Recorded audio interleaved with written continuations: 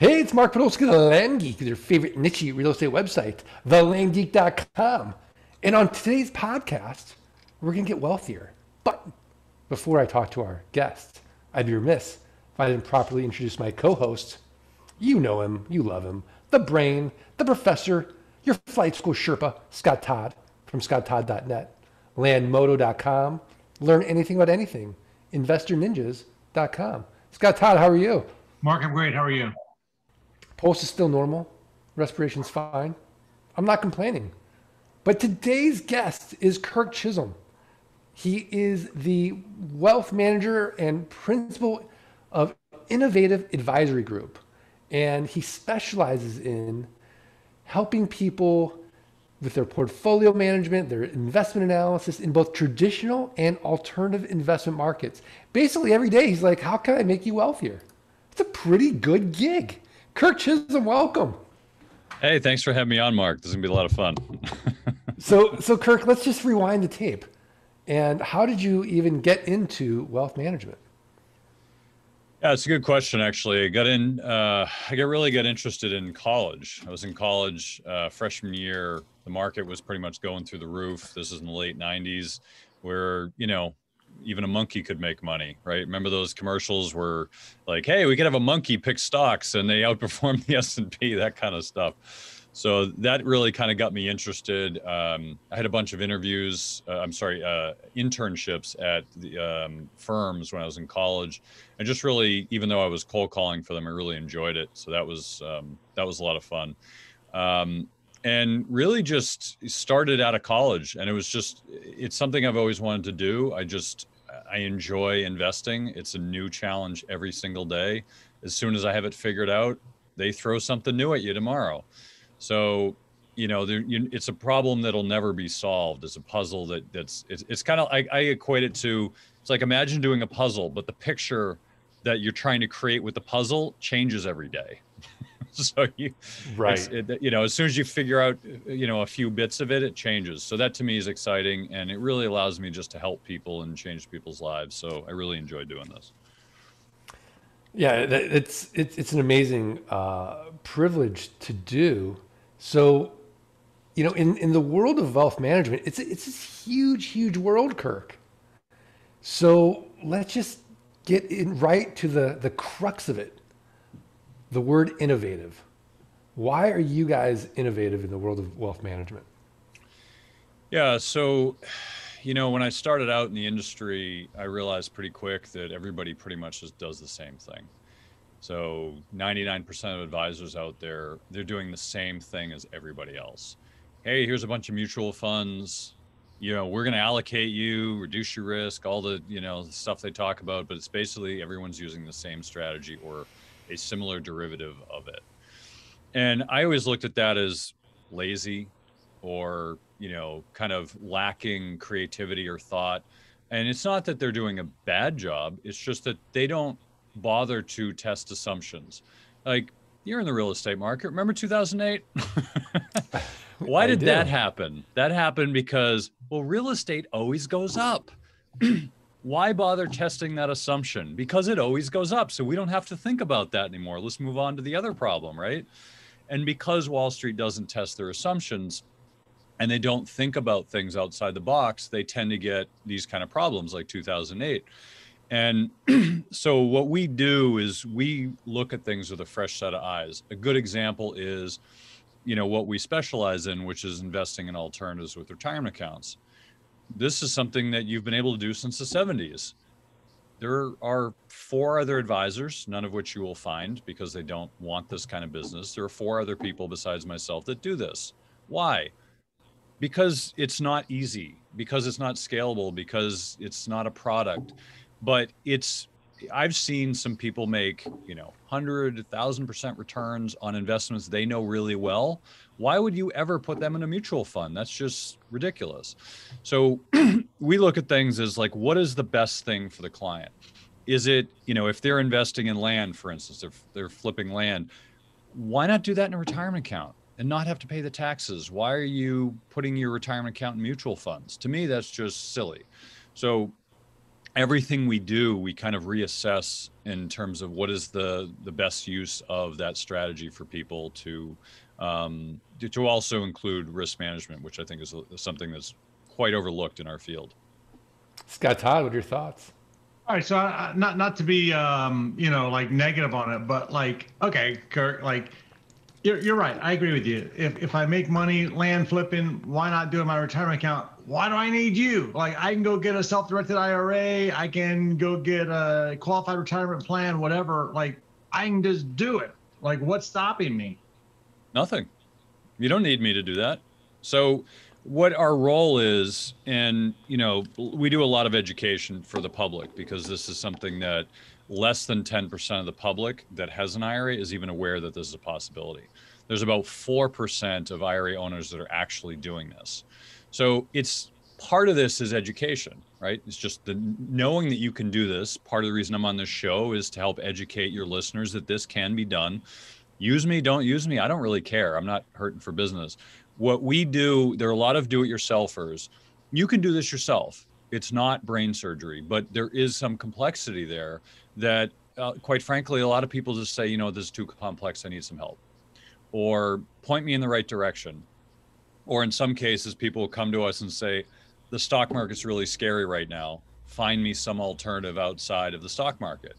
It might be land, could be private mortgages, could be private company stock, cryptocurrency, whatever. Like everyone's a little different in what they want to do. But the but the nice part about this is that you can have that expanded opportunity set to invest in what you know, as Peter Lynch said. Now, you know, I will tell you that this is um, it's not altogether straightforward there's a lot of parts of the tax code that people have to understand. And if you're investing in mutual funds with your IRA, you're not going to get yourself into trouble. You just click a button and you're done. If you're investing in real estate, you have to do things properly. Or you could create prohibited transactions, which means that that's an immediate distribution of those funds from your IRA, including paying all the taxes on it. Not something you want to do.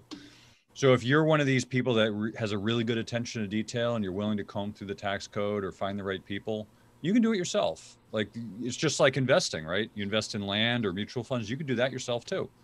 Um, but there's a lot of complexity in there that that does overwhelm people, and people use us for advice. And you know, it's not like the 70s where you can't buy stocks on your own, right? Like you can do this yourself, and I think people should but people should be aware that it's not as straightforward and there's more to it than that. And i think that's some of the biggest challenges are people just don't know what they don't know. Yeah no i, I totally agree with you kirk. My, my question would be why why is it such a small percentage of people that are even exposed to these self-directed retirement accounts? What what's the big secret? Like why don't we see these commercials like we see on on the golf channel you know go to your self-directed IRA and start investing in, you know, these assets that you know the best: art, land, real estate, cryptocurrency. We never see it. It's like it's like this hidden little thing. Why? You hit the nail on the head. If you think about anything investing related, how do you know about it? Advertising, right? How do you know about TD, Schwab, Fidelity? Advertising if they didn't advertise, you would know they existed, right? But yet, there are custodians. There are 47 custodians out there that specialize in this, and they're not advertising. So you don't see advertisements on TV. Hey, you can put this, you can put real estate in your IRA, because they don't have that kind of budget. They're not making money hand over fist like some of these traditional custodians. So they don't have the marketing budget. They're more creative with their marketing. They do it, and if you're a real estate investor, you probably come across some of these companies because they do advertise, but it's not like it is with, like you said, the Golf Channel, because that's a huge budget that these people have to have. So the reason that it's not a conspiracy, it's not like people are trying to keep it away, but TD, Fidelity, Schwab, they're not going to advertise something they don't do. So they're only advertising what's in their best interest. And since they don't do alternatives, they're not going to advertise about that and most people are not willing to comb through the tax code. I mean, let's be honest, unless you're really having a tough time sleeping at night, you're probably not going to comb through the tax code. So that's not going to be something that you're going to find out on your own. You might find out through a real estate investing meeting, a podcast like this, um, or maybe like a, a blog post or an article in some publication. But that would be it because, you know, and even then, you might not understand what that means. I mean, I can't tell you how many people come to us and say, "Hey, I want to," uh, I, you know, I say, "What are you investing in?" "Oh, I'm investing in a 401k." Okay, what's your 401k investing in? It's a 401k. What do you mean? Right. So there's there's there's not a a great um, knowledge of all parts of wealth management because that's not what they do for a living. So it, even if they heard that that concept, they might not fully understand what that means. So I think there's a lot to it, um, but the advertising is the biggest part of that. I think. Okay, Scott Todd, what are your thoughts? I was just going to ask, you know, one, one of the things that Kirk said was that there's a lot of um, like gotchas in the tax code for real estate. Like, what what are some of them that you see um, that that put people at risk when they're investing in real estate um, through their self-directed IRAs? Yeah, that's a good question. So um, there's a few things. So one is you can't do business with a disqualified person.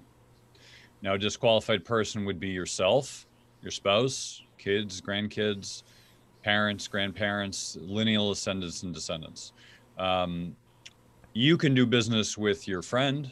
You can do business with a third party as long as there's an arm's length transaction. Um, you just can't do business with direct family or yourself. And what a lot of people do is they'll, they'll just say, Hey, I want to buy this rental property. I'm going to rent it out to my mother.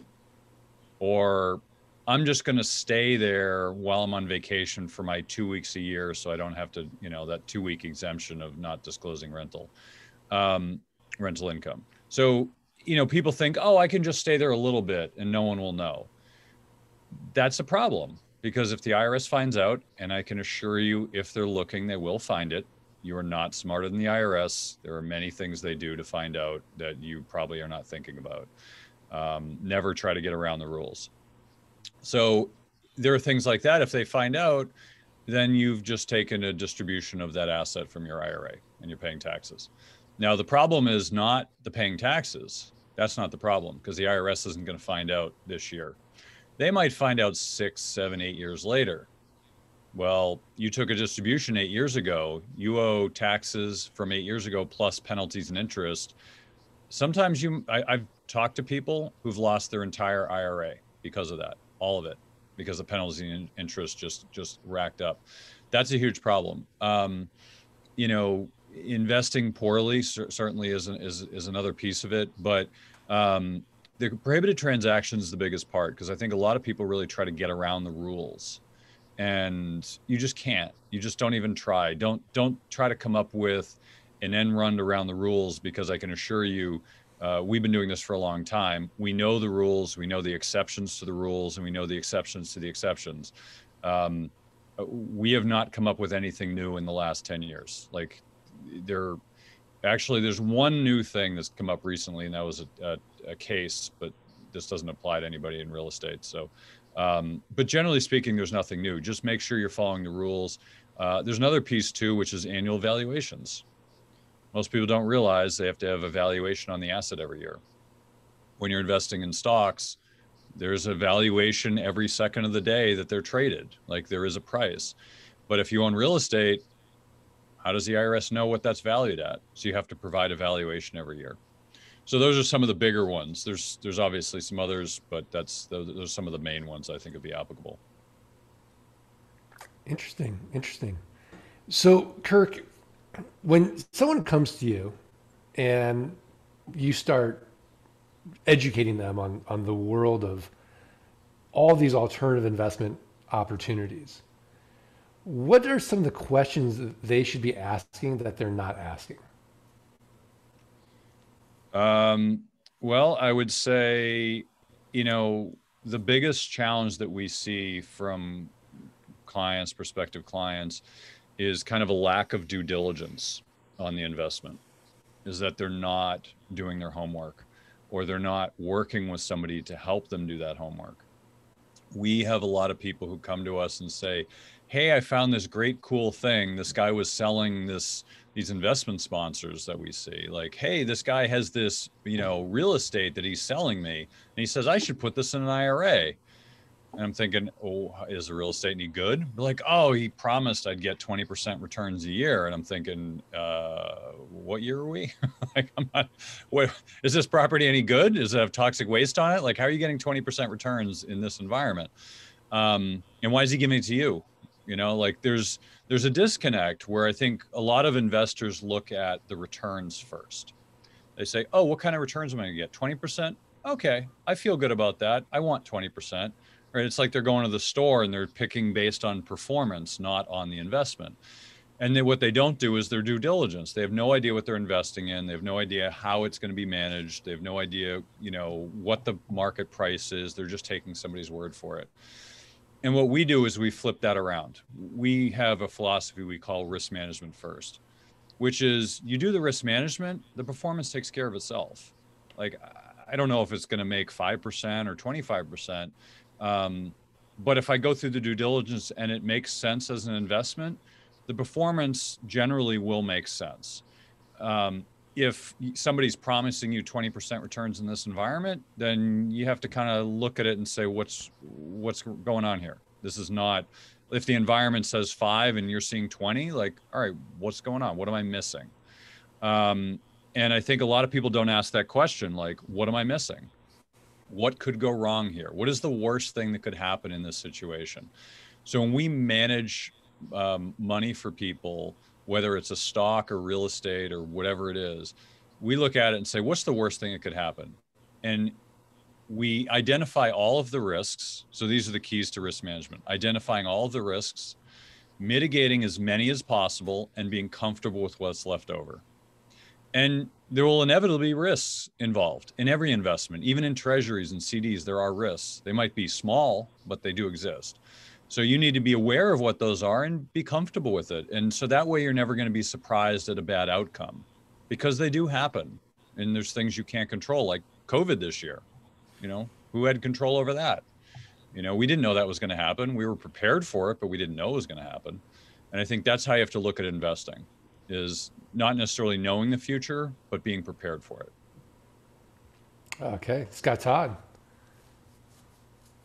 I mean, I think it's all just good advice, right? You know, it's it's um, it's money management.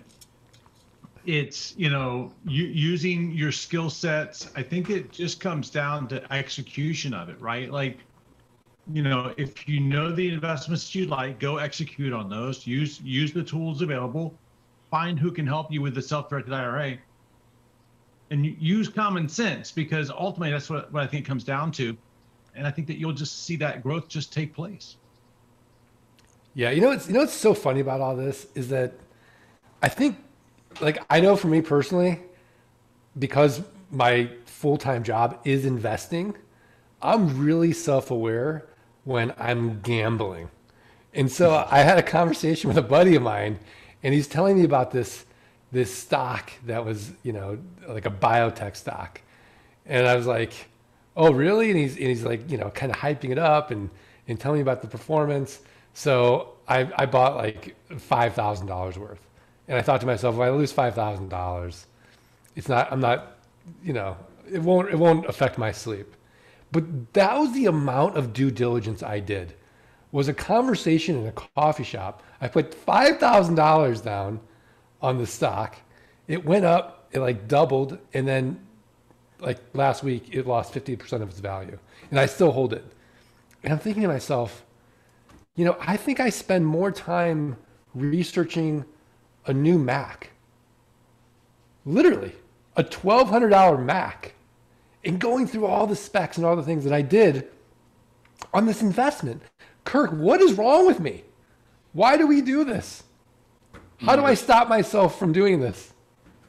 Well, you're human, so that's the problem. I, I, every single investor out there has this same exact problem. You want to know how Wall Street works? Here's here's a simplified way to look at Wall Street. Um, let's say there's 10 analysts. One analyst does the research. They do all the due diligence. They know it inside and out the second person knows the person who did the research. The third person knows the person who knows the person who did the research. Everyone else here is at a cocktail party. That's how most of Wall Street's research is done. And I'm simplifying it quite a bit. That's how investors do their research. They just hear about it from somebody else and say, hey, that sounds like a good idea. Not knowing anything about investing, I, I think, quite frankly, 90% of investors shouldn't be investing their own money. I think they should have the opportunity. I'm not a, you know, I'm not talking about government control. I'm just saying in terms of knowledge base and level of time and effort they put in, they just shouldn't be doing it. They just don't have the expertise or the uh, interest in putting the time in. They do exactly what you do. Oh, I read on CNBC or on you know Jim Cramer's show or in Wall Street Journal about this stock. It sounds like it's going to the moon. Okay, what do they do? Well, I'm not too sure. I, I think they're in the. I think they're going to make money off of off of technology. Oh, okay, that's a that's a good start. You know, like what are their earnings? I don't know. What are earnings? You know, like it's just there's so much that goes into it that I think people really need to spend the time to learn and get more knowledgeable about this. Just like what you said, you're a smart guy, you do your research, you're obviously successful in the land space, and you're investing in a biotech company. That's rule number two. You know, it's like the Peter Lynch rule, uh, the quote, invest in what you know. There's a reason I don't invest in biotech and certain areas that are outside of my expertise.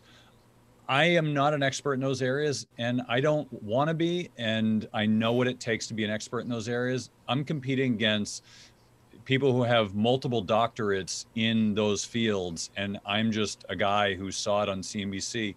I'm not going to be competitive in that space. So I don't try.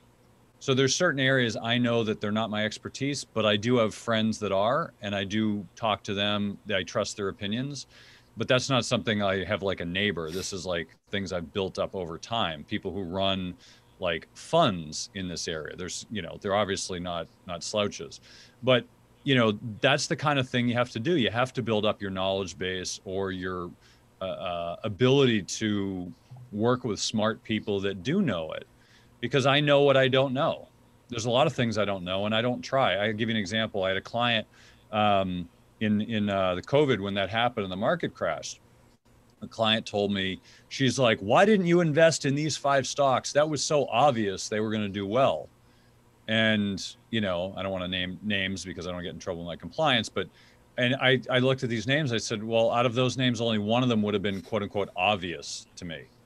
The other ones weren't obvious, you know, because very easily all of the retail stores were shut down, but one of them had a bunch of retail stores. So that could have affected earnings. How do you know that?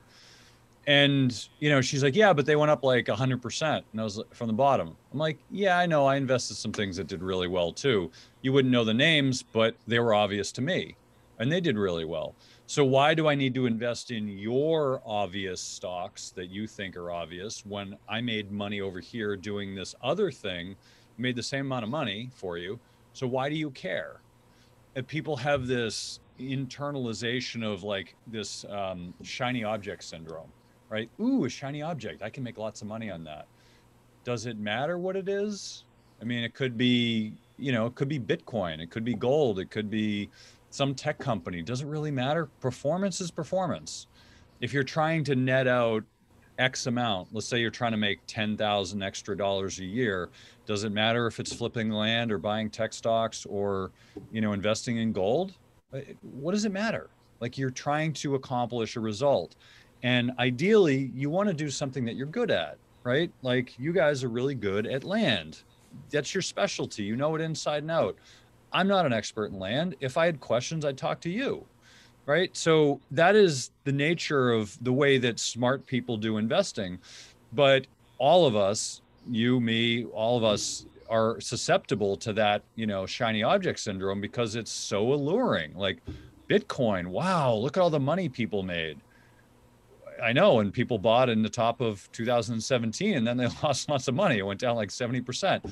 But you know, if you had bought earlier, if you knew people that were knowledgeable and said, no, actually, this would be a good time to buy, then you'd you'd at least be making informed decisions as opposed to the hey, we're going to the casino tonight. You want to come kind of decisions, right? So I think there's a big difference there. Exactly, exactly. Scott Todd, I think we got it, man. I think it makes Got it. sense, right? Like it's Final just there. thoughts?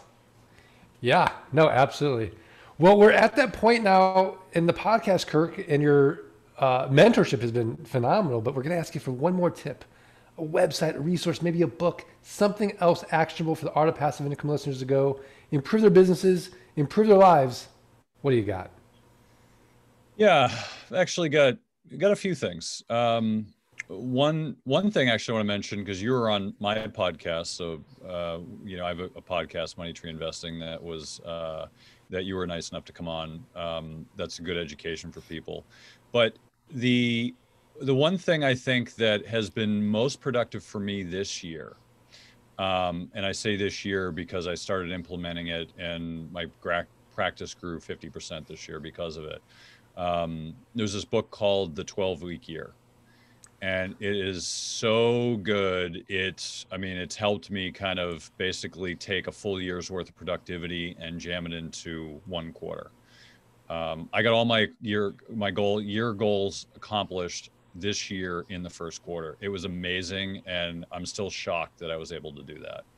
Um, so that is one of the books that i love and i'm spending the next two weeks rereading it again to make sure i can do it again for this year. We actually implement that book and its techniques in our coaching program. So we work on a 12 week year basis. Nice. Every week is a month. Every day is a week. And it's, I love it. And we've been doing this for years now. I think if you combine that book with the one thing, you really have this magical combination of, of just productivity and, and super focus on what is the most important thing to do that day to move the needle and get her done. You're Um, you're you're speaking my language here because I actually teach a course to a bunch of advisors, and the books that we have are um, Deep Work. Uh, if you're familiar with Cal Love that book. Cal Newport's great. Yep. The One Thing, The 12 Week Year, Essentialism. Um, Yep. We had Greg McKeown on the podcast. Did you really? Oh, I have to get Yeah, him on. great. His, yeah, his book is so good. Um, what motivates me and um, getting things done. So I use all of those books at the end of the year, and I I reread them quickly, and then kind of do my year end planning. And it it's it's like compressing all of that, like what you're doing for your coaching program. Sounds like we're doing similar things, where you just compress it all, and it's just so powerful if you just take all those concepts. Oh yeah, it's, it's it's amazing. Well, before we get to Scott Todd's tip of the week, I just want to give a shout out to our sponsor, Flight School. Learn how the next 16 weeks can literally transform your life. Go up that mountain of land investing with someone who's done it thousands of times. Scott Todd will take you up that mountain quickly, safely, efficiently. And we're so cocky about it. Cocky that this ain't to cost you nothing. The tuition you're to make back, 180 days or less, guaranteed. Just show us your work. Learn more, go to landgeek.com forward slash training. Scott Todd, what's your tip of the week?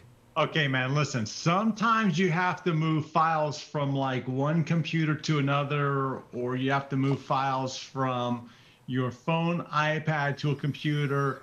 And I know Macs sometimes have uh, AirDrop, but it's not always convenient. So check out this tip of the week. It's called snapdrop.net. Snapdrop.net. And all you do is you open up on a browser. So like if you click that link I just gave you, it opens up on a browser and you'll see like this computer in the middle that says like mine says Coral Pike. Maybe yours says something else. And what will happen is if I go to another device around me, like my phone, for example, and go to snapdrop.net, it will now see through the internet connection the other computer. And if I drop a picture or file through there, it will move it to the other device seamlessly. Seamlessly, Mark.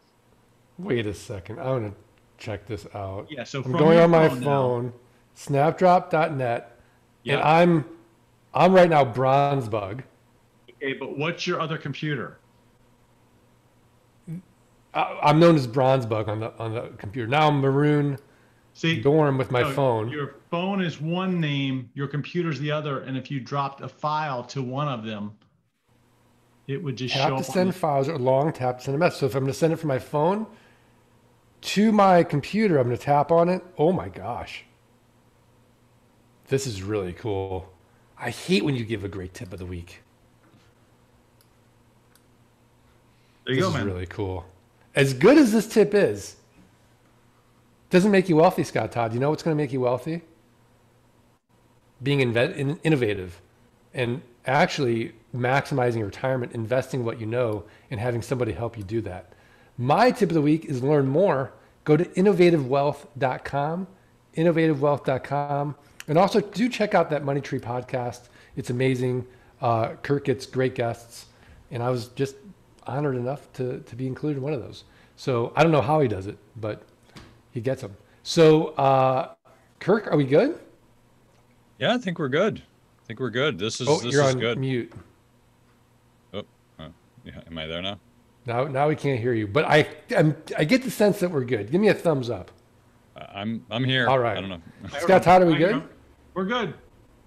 Okay, so it turns out that um, this is not a Kirk problem or a Scott Todd issue. I can't hear anything now. I think it's an AirPod issue. Yeah, I think Taking so. out the Can you hear me, Scott? I hear you just fine. And I think uh, it, you know I'm what I think it change is, my right? speaker here. I think there, now it's working. see, Oh, see, we have a little joke between us, but what pro what the problem that Mark just experienced was a Mac problem. That's what it was. uh, I see. Yeah, that's why I don't use Macs. All right, this is getting ugly. All right, one, two, three. Let Let freedom freedom ring. ring.